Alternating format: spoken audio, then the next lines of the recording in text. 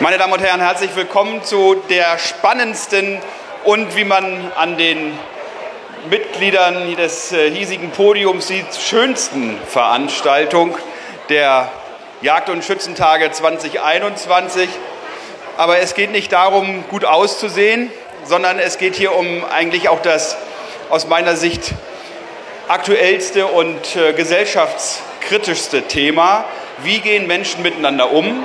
Wie gehen Männer mit Frauen um? Und diese vermeintliche Männerbastion Jagd ist ja längst gefallen.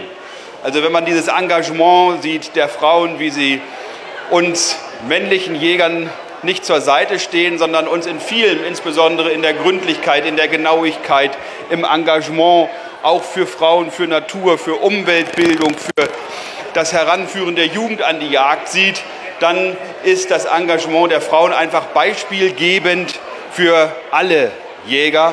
Und insofern freue ich mich und bin wirklich ganz, ganz stolz, so tolle, engagierte Frauen hier auf der Bühne begrüßen zu dürfen. Und wir haben, ich nehme nochmal den Zettel zur Hand, weil ich einfach so geflasht bin. Das ist ja sonst nicht so meine Art, aber es ist einfach klasse, euch hier so zu sehen. Wir wollen heute zu dem Thema sprechen, macht Social Media jagende Frauen zu Freiwild. Das hört sich ja erstmal für diejenigen, die sich nicht so sehr bei Instagram, Facebook und anderen Plattformen bewegen, spannend an. Aber wir haben hier insbesondere zu meiner Linken zwei Frauen, die sich da ganz besonders engagieren, nämlich die Beatrice Jäger, unter dem Namen kennt sie eigentlich kaum jemand, aber jeder, der bei Instagram irgendwie mal unterwegs ist und als Jäger verschiedene Plattformen vorgestellt bekommt, der kennt dort Mrs. Wild Boar. Und als solche firmiert sie da und ist unglaublich interessant mit ihrem Content als Försterin. Zeigt sie den Menschen nicht irgendwelche knackigen Hintern, sondern sie zeigt ihnen eben knackige Bäume und äh, das, was wir im Wald und in Feld und Flur so sehen an Tieren und an Pflanzen, erklärt verschiedene Dinge auch in der Forstwirtschaft in großartiger Art und Weise. Und daneben haben wir Dr. Viktoria Schneider mit einem sehr provokantem mit einer sehr provokanten Firmierung bei Instagram Looking Good in Camouflage. Wie man sieht, sieht sie nicht nur in Camouflage-Klamotten gut aus, ist heute wohl behütet und äh, sie ist aufgrund ihrer Brandenburger Art und äh, ich sag mal, in Brandenburg ist das kein Schimpfwort, wenn man das sagt, ihrer großen Schnauze äh, bekannt und ähm, spiegelt also auch so ein bisschen den nordostdeutschen ähm, Part wider also etwas ganz anderes, in ganz anderer Weise unterwegs, aber jagdlich unglaublich beflissen, dort in Brandenburg aktiv, obwohl sie eigentlich in Köln zu Hause ist und dort auch im medizinischen Bereich tätig ist. Wir haben dann direkt aus Berlin eingeflogen die bayerische Bundestagsabgeordnete Nicole Bauer.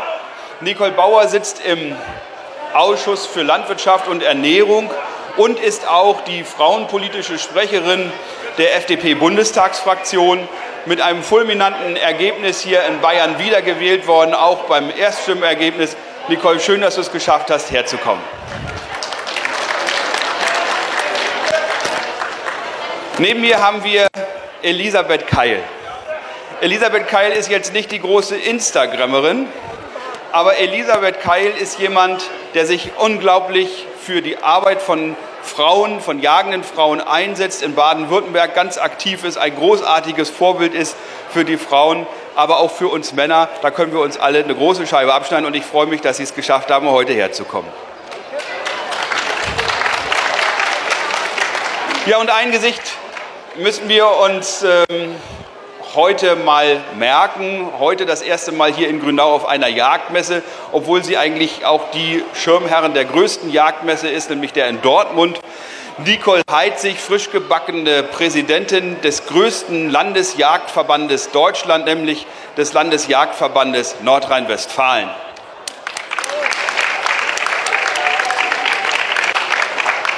Nicole Heitzig hat einen sehr anständigen Beruf.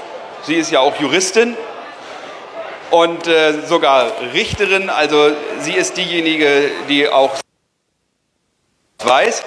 Und ich hoffe, das ähm, wird dich nicht zu sehr belasten, dann auch mal bei den Jägerinnen und Jägern vielleicht auch die ähm, sehen und äh, da das richtige Maß und die Mitte zu finden. Da bin ich überzeugt, dass das weiterhin so klappt. Ich finde es großartig, dass du die erste Frau bist, die so einen Verband führt und dann auch noch den größten.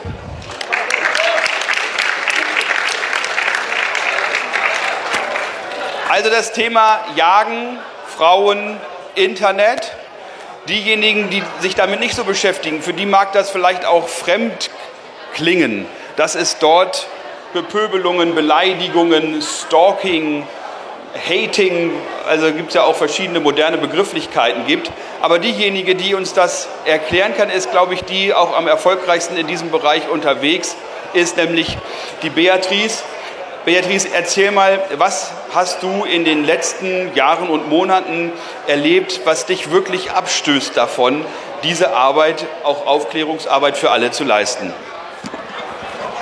Ja, da hatte ich ähm, letztes Jahr im Januar tatsächlich ein Erlebnis in einem Bereich, wo man es vielleicht eher erwartet, wenn man sich jagdlich im Internet ähm, zeigt und natürlich auch die Jagd nach außen trägt. Und zwar wurde ich da Opfer eines klassischen Shitstorms. Das ist ja der Modebegriff fast schon in dem Bereich. Und zwar hatte ich ein Foto in die Welt hinausgeschickt. Es fühlt sich von zu Hause aus gar nicht immer nach Öffentlichkeit an, aber letzten Endes entlässt man immer ein Welt ins World Wide Web, ein Foto das dann einmal um den Globus gehen kann. Und ich hatte auf diesem Bild eine Fuchspelzmütze auf von einem Fuchs, den ich selbst in meinem eigenen Revier erlegt habe. Und habe, also auf dem Foto war kein erlegter Fuchs drauf, es war kein Streckenfoto, sondern einfach nur ein Bild von mir mit Fuchspelzmütze. Und dieses wurde dann zerlegt. Auf Facebook, nicht auf Instagram. Und zwar hat das Foto eine Community erreicht, eine abgeschlossene Gruppe von ähm, Tierschützern die dieses Foto zum Anlass genommen haben. Ich glaube, ich hatte am Ende nach einer Stunde 400 Hasskommentare unter diesem Bild.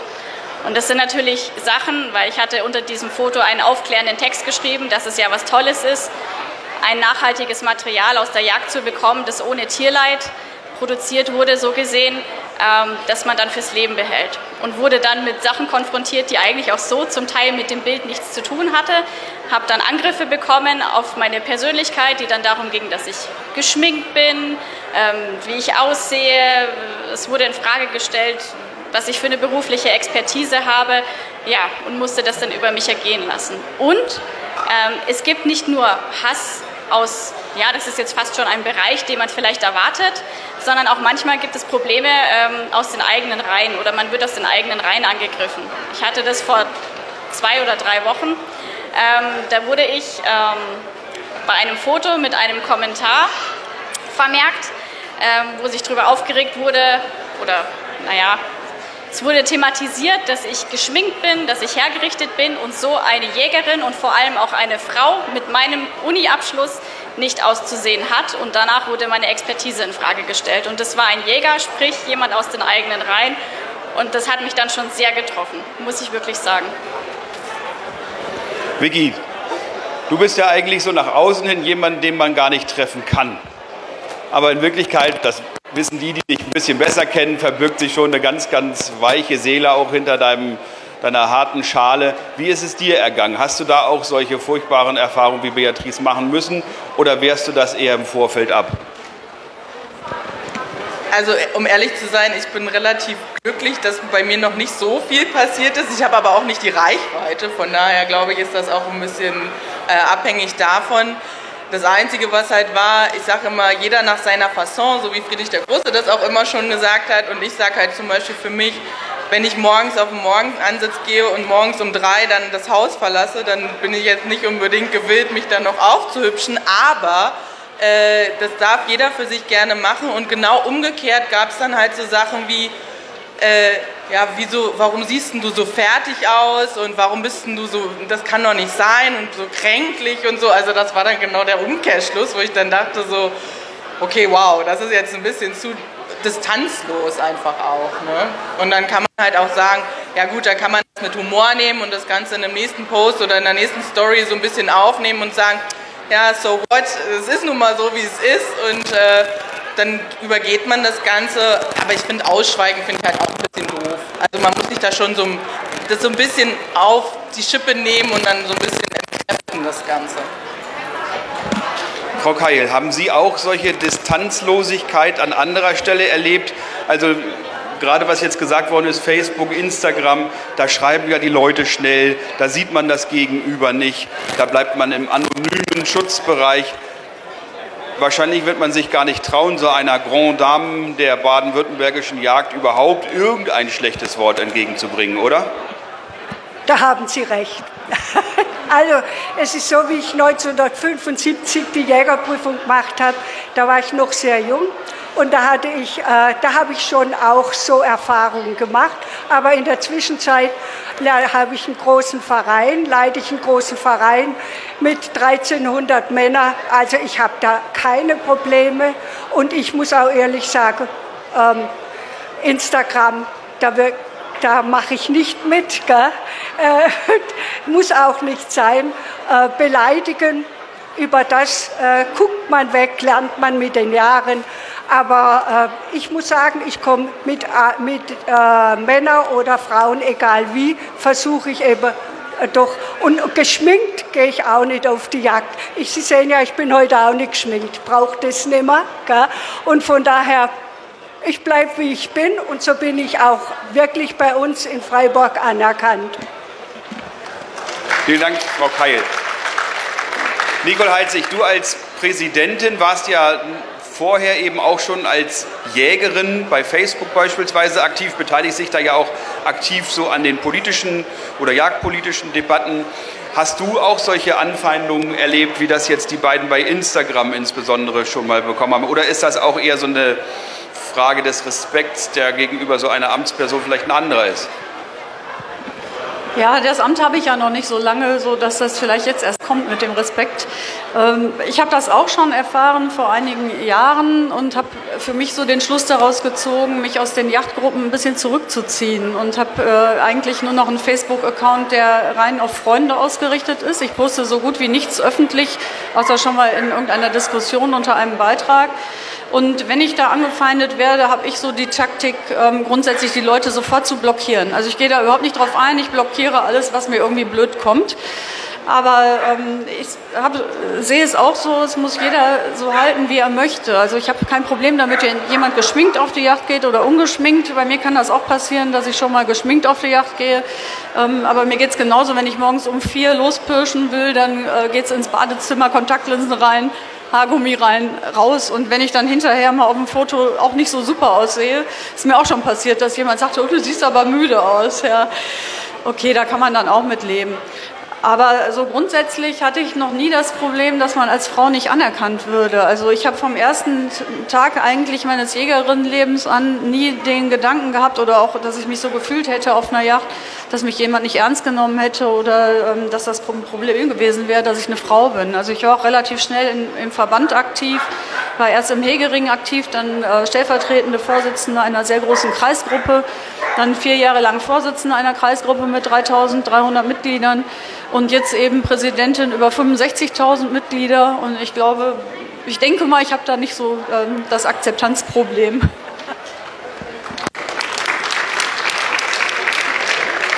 Nicole, siehst du ein Akzeptanzproblem von Frauen in so einer männerdominierten Gesellschaft? Oder ist dort eben auch schon alles an Gleichheit, wie es die Verfassung und die Gesetze fordern, angekommen?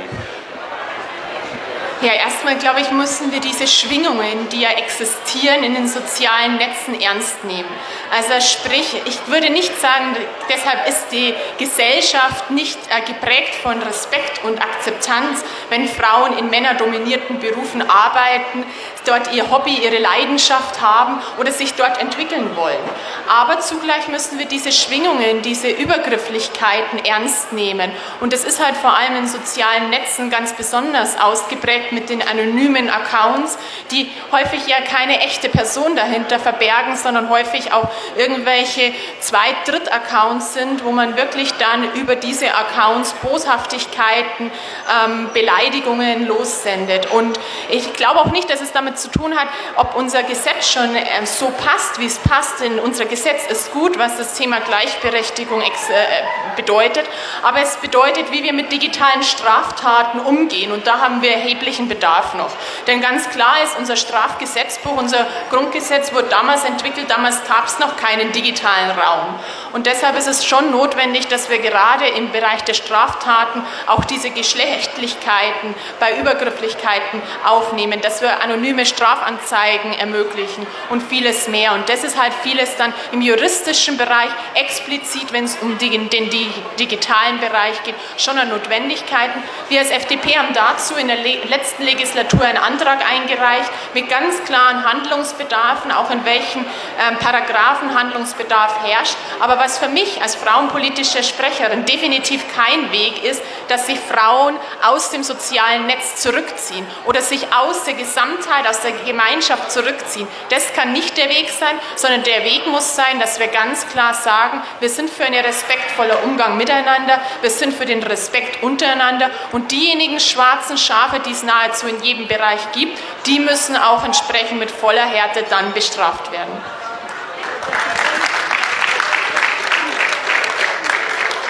Die schwarzen Schafe meintest du jetzt aber nicht politisch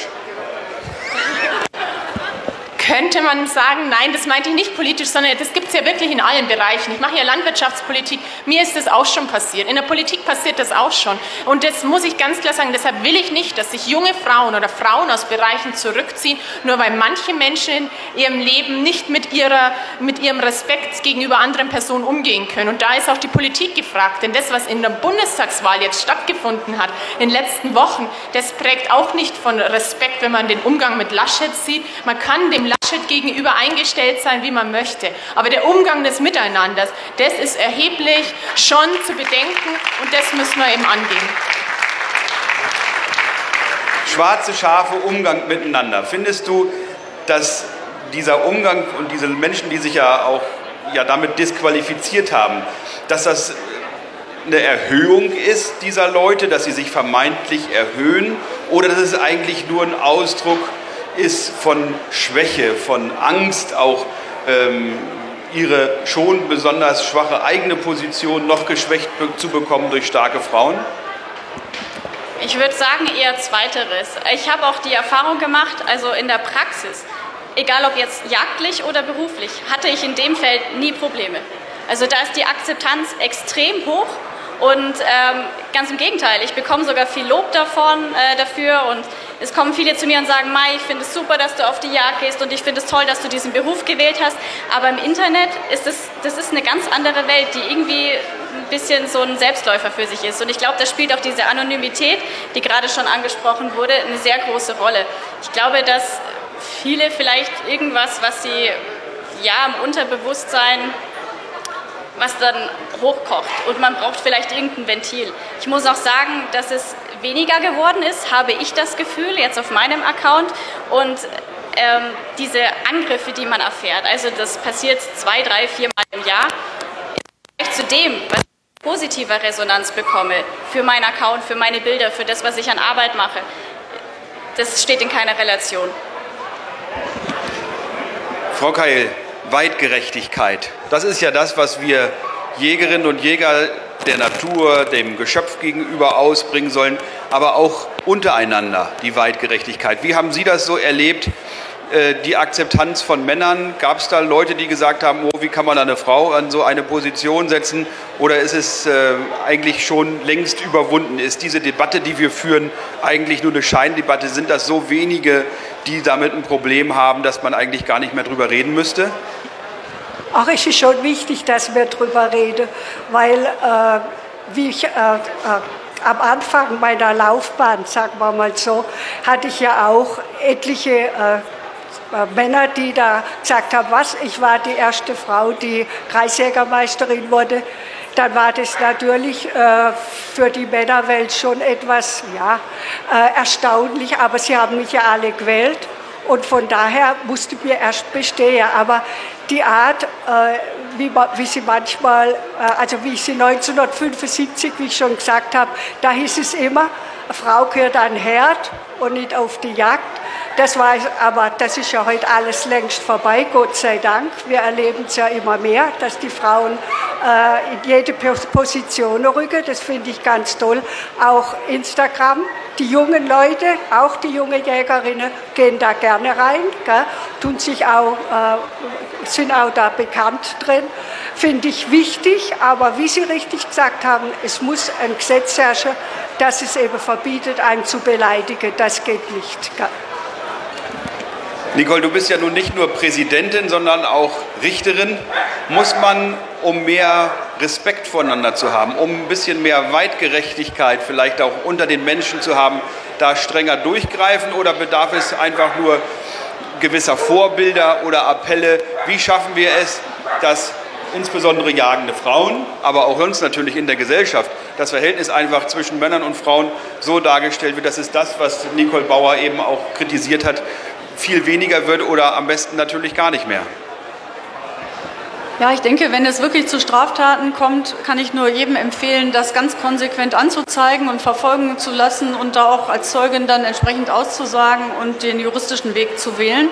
Grundsätzlich würde ich mir aber wünschen, dass zum Beispiel in sozialen Medien oder auch im Alltag, wenn äh, irgendwelche wirklich blöden oder auch beleidigenden oder anzüglichen Bemerkungen kommen, dass so ein äh, gesellschaftlicher Druck entsteht, dass vielleicht einfach mal dann auch andere Männer denjenigen darauf hinweisen, wie blöd das Verhalten eigentlich ist oder wie falsch es ist und äh, demjenigen sofort da ähm, Paroli bieten. Das wäre halt eben auch schön, wenn dann unter so einem blöden Spruch 20 Leute kommentieren, wie dämlich eigentlich der Poster ist, dann hat das auch schon einen gewissen Wert. Wenn das natürlich so hingenommen wird und eins nach dem anderen kommt, ähm, dann wird es ganz schwierig und dann bleibt wahrscheinlich nur der juristische Weg. Aber ich würde mir so eine Art gesellschaftliche Kontrolle da wünschen.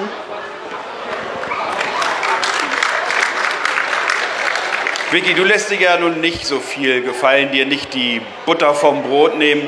Wie reagierst du dann auf solche Sachen? Also im Social Media Bereich, so wie ich es vorhin schon gesagt habe, man sollte halt so ein paar Sachen auch äh, entkräften, indem man halt zum Beispiel entweder dagegen sich nicht wehrt, sondern halt das auf die Schippe nimmt.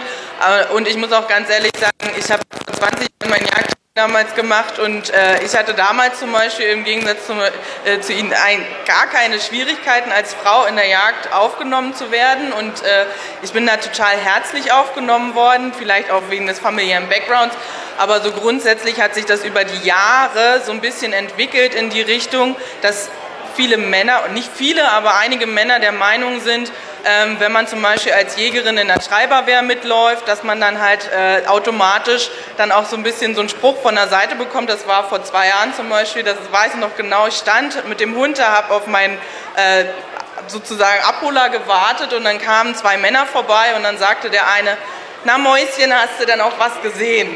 Und dann gucke ich den an und dann sage ich, ja, ja, ich war ja in der Schreiberwehr. Ich hatte definitiv einen Blick und dann meinte der, ähm, ja, wenn du dich jetzt anstrengst und bei der Jagdschule anmeldest, dann darfst du auch nächstes Jahr mit ansitzen.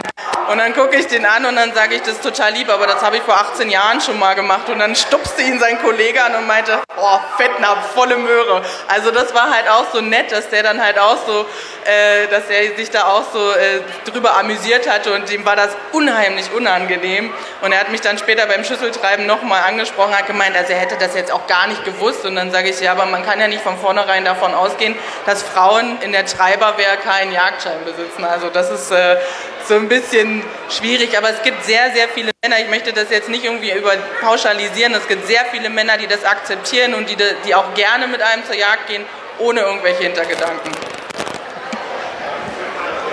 Ja, Hintergedanken, das war ja insbesondere bei Beatrice, waren es ja auch Leute, die mit Jagd so gar nichts zu tun haben. Also gar nicht so das Verhältnis unter Jägerinnen und Jägern, sondern das Verhältnis von außen, also von Jagdkritikern gegenüber vermeintlich den Schwächsten, die so die Community zu bieten hat.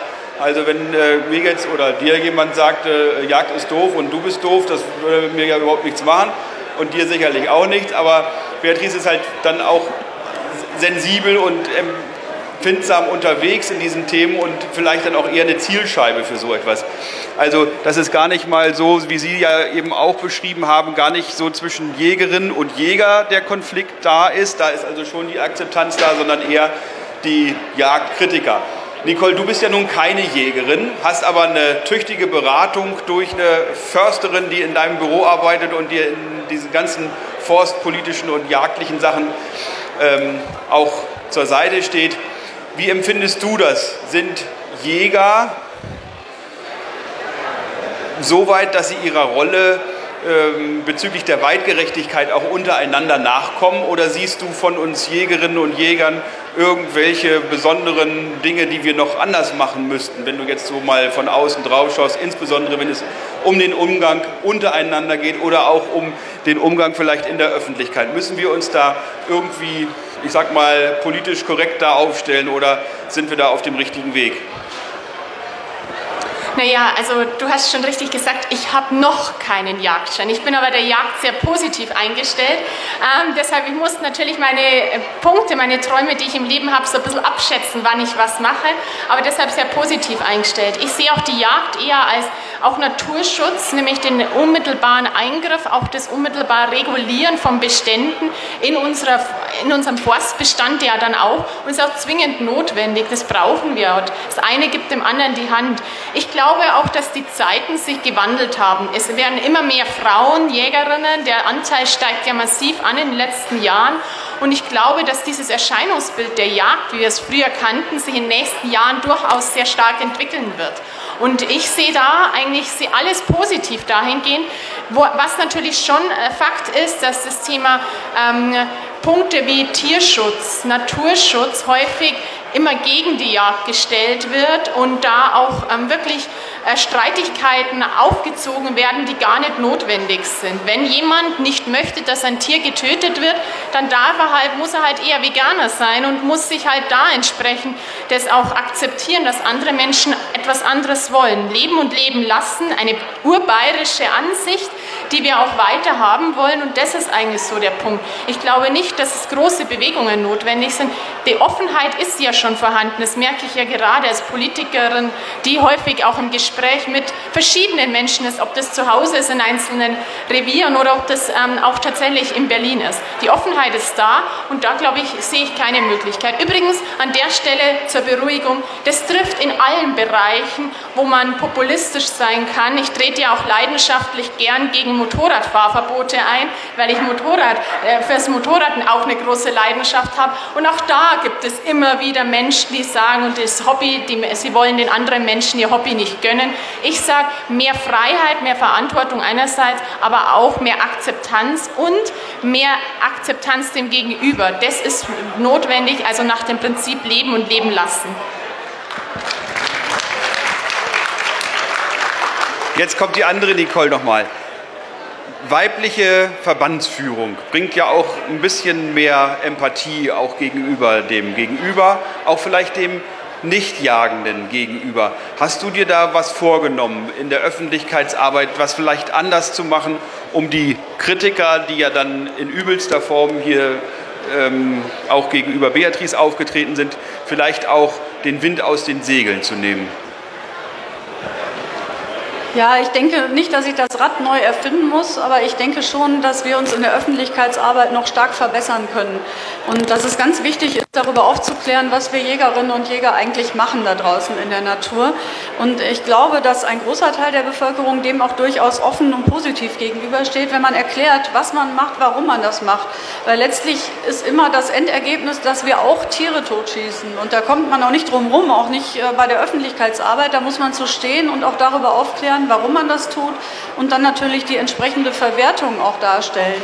Das, äh, da hat sich sicherlich einiges geändert, dass die Akzeptanz nur dann erreichbar ist, wenn man auch erklärt, was man tut und warum man es tut und dass das einen ökologischen Sinn hat, dass man es tut und dass man das Ganze tierschutzgerecht und waldgerecht erledigt. Ansonsten haben wir, glaube ich, in NRW somit die höchste Frauenquote in äh, Deutschland. Also wir hatten 2000 meine, im Jahr 2000 noch 7 Prozent Jägerinnenanteil im Verband und mittlerweile sind es, meine ich, 14 Prozent Jägerinnenanteil im Verband. Wir haben 7700 organisierte Jägerinnen und da halte ich es eigentlich auch für normal, dass irgendwann auch mal in den Spitzenpositionen Jägerinnen auftauchen. Ich finde das jetzt nicht so ungewöhnlich. Frau Keil, Sie sind ja nun in Baden-Württemberg mit der grünen Landesregierung auch die vorderste Speerspitze sozusagen der Jäger, wenn es darum geht, der urbanen und kritischen Bevölkerung so die Jagd als Naturschutz näher zu bringen. Haben Sie ein Geheimrezept für die anderen, das auch so positiv rüberzubringen? Wir haben es gestern vom Jörg Friedmann gehört, dass der sich eigentlich ja mit dem System gut arrangiert hat. Äh, wie sehen Sie das? Was muss man machen, damit er, ich sage jetzt nicht parteipolitisch, sondern eben auch einer jagdkritischen und eher aus den Städten stammenden Bevölkerungsschicht die Jagd als Naturschutz näher zu bringen? Es fängt doch schon damit an, wenn wir in den Wald gehen. Wir haben die Waffe dabei und treffen immer wieder auf Menschen. Selbstverständlich heute, ich wohne im sehr populär, äh, populären äh, Gebiet, wo viele Leute vorhanden sind. Und seit der Pandemie werden wir überschwemmt im Wald. Schwer zu jagen, aber wenn ich mit dem äh, Gewehr durchgehe und äh, ich werde von den Leuten gefragt, ich rede mit ihnen, erkläre ihnen. Und ich habe noch nie, ich gehe auf diese Weise vor, dass ich das auch im Verband bei den Jägerinnen so kommuniziere, dass wir einfach mit den Leuten reden müssen. Das ist das Wichtigste, sagen, was wir tun. Und die meisten, äh, wenn sie nicht gerade Veganer sind, äh, lieben ja unser oder schätzen unser Wildbrett. Von daher können wir sagen, wir tun auch für die Gesellschaft Gutes, denn das ist ohne Medikamente und ohne alles. Und wenn wir mit der Bevölkerung reden, mit den Menschen reden und auf sie zugehen, bin ich sicher, haben wir viel weniger Probleme äh, als äh, wie bisher. Es wird immer besser. Es fängt ja auch schon an, äh, dass die Präsidien der Landesjagdverbände Frauen aufnehmen. Ich war auch die Erste, war sehr stolz darüber. Und äh, inzwischen ist es so, dass es eigentlich an der Tagesordnung ist. Es gehört einfach dazu, weil wir ein bisschen anders ticken als Männer. Ja, ich finde, ich finde, das kann man ja auch gar nicht mehr toppen als Schlusswort. Wir haben so ein bisschen Zeitdruck. Gleich kommt ja noch die große Modenschau.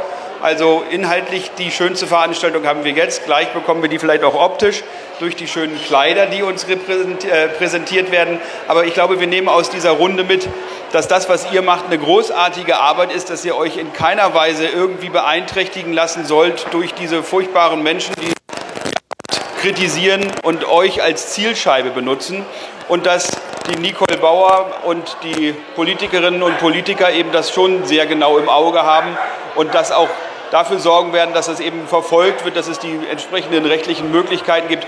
Und die beiden hier vorne, die also ein wunderbares Beispiel dafür sind, wie großartig Frauen in der Jagdverbandspolitik eben agieren können und ich glaube uns allen auch irgendwie ein Beispiel geben sollen, wie wir als jagende Naturschützer genau dieses Thema weiterbringen sollen in die Gesellschaft, so wie ihr es jetzt eben als Bloggerinnen macht, dass das auch in jedem Gespräch stattfindet, so wie sagen, wenn man eben die Leute trifft im Wald, sie anspricht, ihnen auch mal anbietet, sie mitzunehmen, ihnen zu erklären, was man gerade macht. Ich habe ein Revier im Landkreis Lüchow-Dannenberg, da ist die ähm, Quote derer, die aus ökologischen Gründen dahin gezogen sind, sehr groß. Und ich habe neulich jemandem das erklärt, wie das mit dem Wildbrit ist. Und dann hatte ich zwei Nutrier geschossen. Und dann hat er gesagt, ach, das würde er ja auch gern mal probieren. Machte dann seinen Jutebeutel auf. Und ich habe ihm dann also so Nutria in seinen Jutebeutel gesteckt. Und er wollte sich eine Wildsuppe kochen, weil er keinen Backofen hat. Und es war einfach großartig, wie man also auch miteinander umgehen kann über jegliche soziale und auch äh, ideologische Grenzen hinweg. Es soll einfach dienen, heute auch mal so als Initialzündung, weitere Initialzündung auf die Menschen zuzugehen, auf die Kritiker zuzugehen, damit eben das, was ihr dort teilweise erlebt, im Keim erstickt wird. Und nehmt euch auch nochmal der Empfehlung von Nicole Heitzig an, verfolgt solche Ja-Kritiker, die euch irgendwie angreifen, aber seid konziliant und positiv und konstruktiv im Dialog mit Nichtjagenden, damit wir insgesamt für die Jagd eine Akzeptanz in der Gesellschaft finden, die dafür sorgt, dass wir auch übermorgen noch gemeinsam diesem nachhaltigen Werk nachgehen können. Herzlichen Dank, dass Sie alle da waren.